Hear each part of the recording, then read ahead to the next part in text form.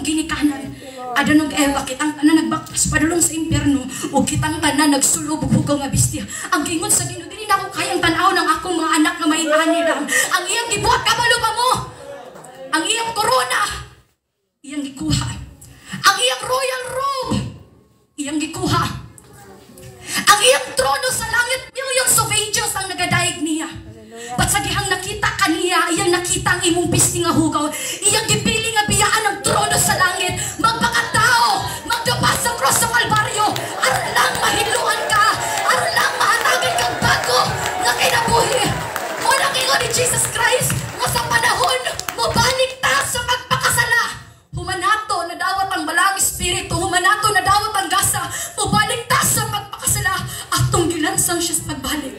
Amen. Amen. Manang sa lihang before ka. Before ni mo hugaw-hugawan ang imong kaugalingon. Huna-huna pagbalik gingon sa basa Ginoo. Pagbayad aron lang mahatagan ko ani nga bisti. Sa sakripisyo sa Ginoo.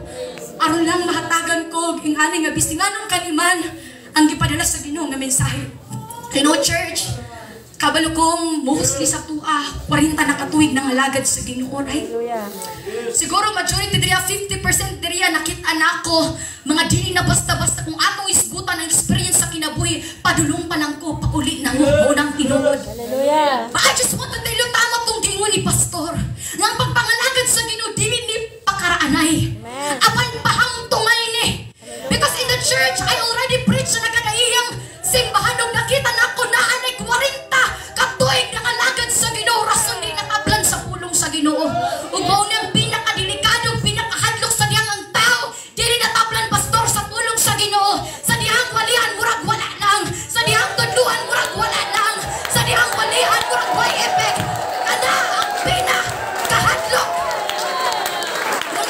I just want to tell you, Sister Sharon, sa may buhaton ako.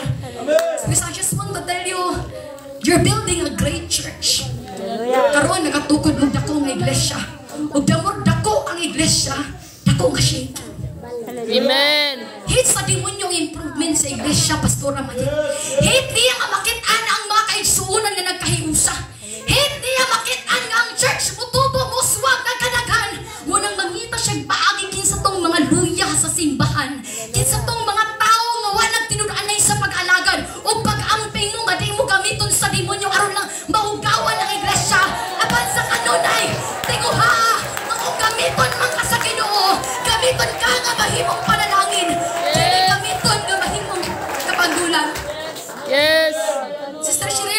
Dyan ang purpose. Hallelujah. We read in the Bible, kasi diyang gibautismuhan ta, ang gisaluban ta sa Ginoo sa pagkamatarong ug pagkabalaan. Yes. Hallelujah. Pagkamatarong ug pagkabalaan. Hallelujah. And I just want to tell you, church, Adunay usa ka sambingay sa Biblia kung inyong basahon ng Matthew 22, 1 to 14. Adunay sambingay gigahatag si dito si Jesus Christ sa iyang mga tinunan nga nag-igon. Adunay usa ka nga nagbuhat og usa akong bira.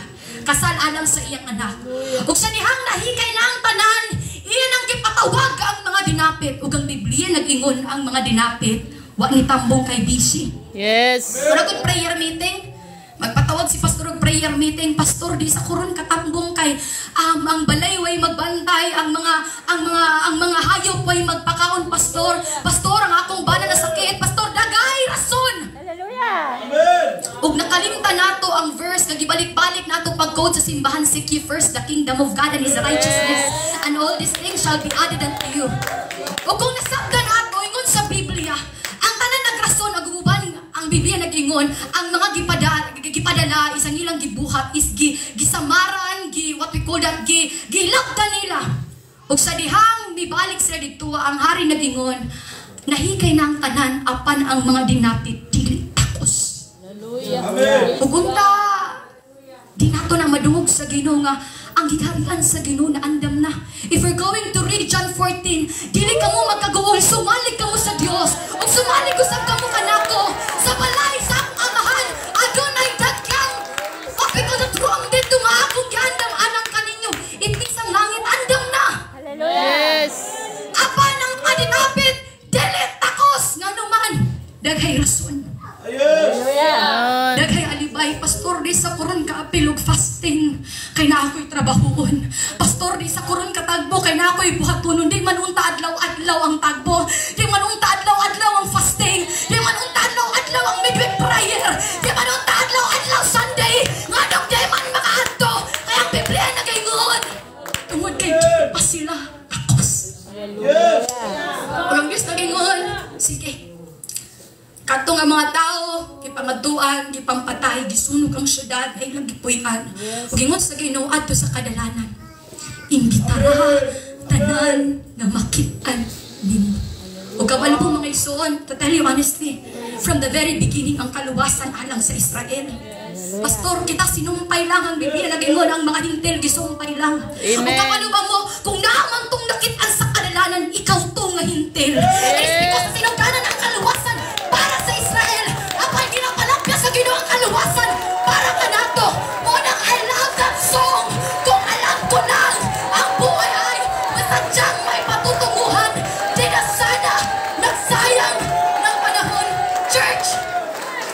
Ayaw tuguti unta ang kanta diri alang sa kalibutan diri alang sa simbahan. Ayaw tuguti pohon sa impyerno kantaho nato to nga kung nasayod pa lang unta ko nga ang langit giandam na. Wala untay midweek prayer nga giabsinan nako. Wala untay prayer and fasting nga giabsinan nako. Kung nasabtan lang nako nga ang langit inandam na. Unta walay buluaton sa Ginoo nga gipalabay nako. Hallelujah. Nakita ang tagin sa Ginoo sa kadalanan. Hallelujah. O kung hamado nimo pagbasa ang sambingay ang gingin dito ah sa pulong sa Ginoo ug sa gihang niabot na tanan nga mga tao adunay usa nga wala nagsulob bising nga pangkasal.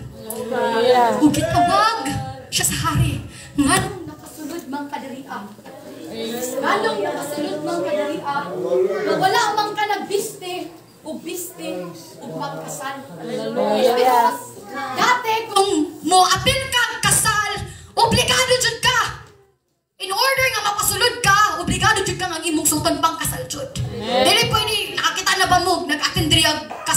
iyang gisuot is pantrabaho. Hallelujah. Wala. Kung mo attend tag kasal kinasuot nato tong pinakanindot nato mabiste. Ug sa nga ipangunta na siya sa hari, ang Biblia nagingon, wa siya katuba. Hallelujah. Praise God. ug dito ah gingon sa hari gabusa siya ug ilabay ngadto sa guwa ug dito siya magakagot sa iyang mga sa may but pasabot nimo sister Cheryl church I just want to tell you sa dihang mobalik ang Ginoo dili niya ang simbahan nga inyong gitukod ang kuhaon salamat ana nga simbahan ug I want to challenge you nga padayon mo sa pagsuporta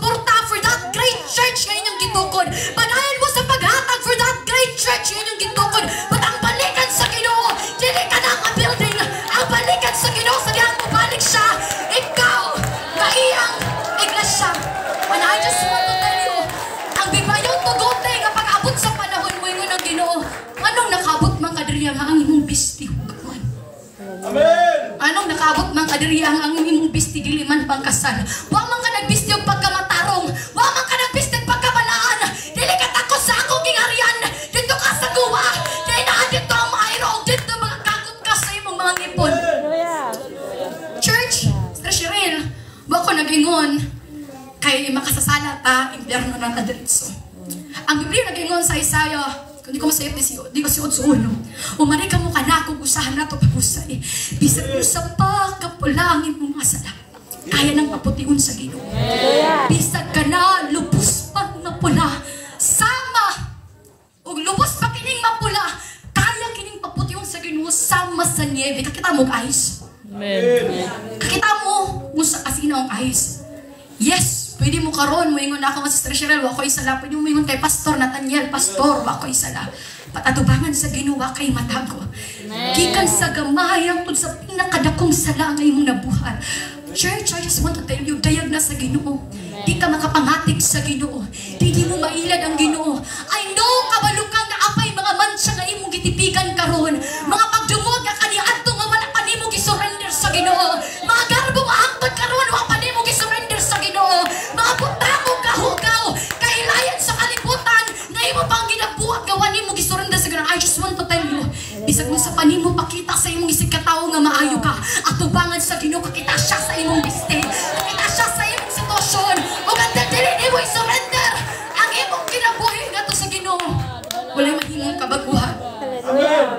Treasurer, yes napakyas ko sa man ang akong buhaton. Hallelujah. Karon dili ana punta kung sa akong buhaton kay church nagtinguan tag langit. Amen. Mo nang every time I go to different churches, I challenge them, puslan man ang alagad mo sa Ginoo, tinudahin niyo.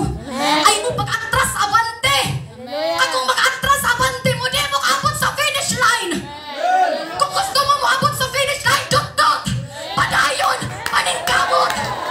Yes, yes church. Dili sa tanang panahon kusog ang atong dagan. Kaya doon ay panahon masamaran o mapilayan ta sa mga pagsulay. I just want to tell you, dili rason tungod kay napilayan ka sa kawalanon. Nasamaran ka tungod sa mga pulong nga imong nadunggan, nga wani mo gibuhat apan, gi- gi- gibutang-butang sa imo. Doon ay panahon masamaran ka, but dili na rason aron mo undang ka. But pwede na nimo buhaton nga kadasig ka, Lord. Ako nagtinguha og langit, ug na may panahon masamaran ko, ug gamay na lang ang akong tikang maning kamot ko.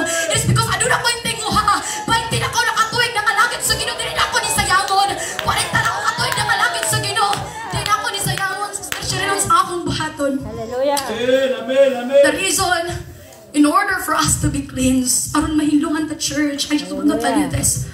Go back to the Word of God. Yes.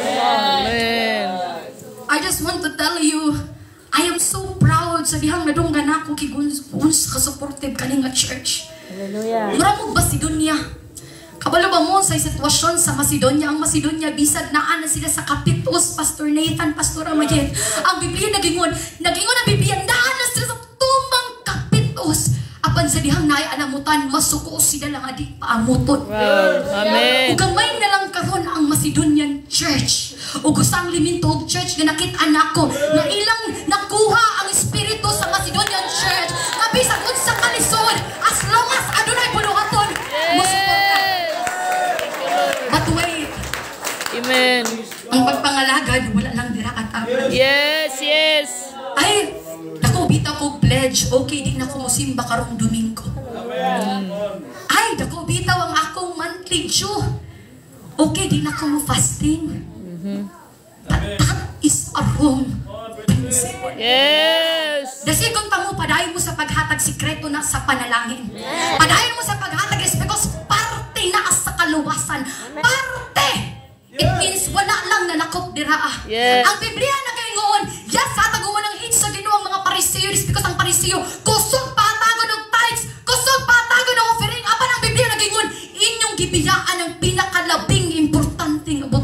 Unang. Hallelujah. Church, dili tungod kay dako taghatag. Okay na nga di ta mo simba. Hallelujah. Amen. Okay lang is because usa nga makapahindo nimo is pulong sa Ginoo. Sa dihang mamina ko mo nga Sunday school importante.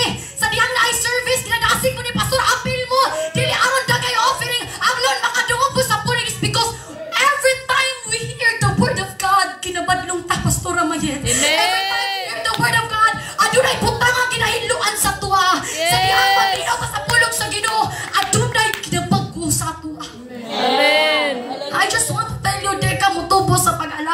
Until di ni mo nihigugmaon. Yes. Amen. Ug wa pa'y ni graduate sa pagbasa sa pulong sa Ginoo. Amen.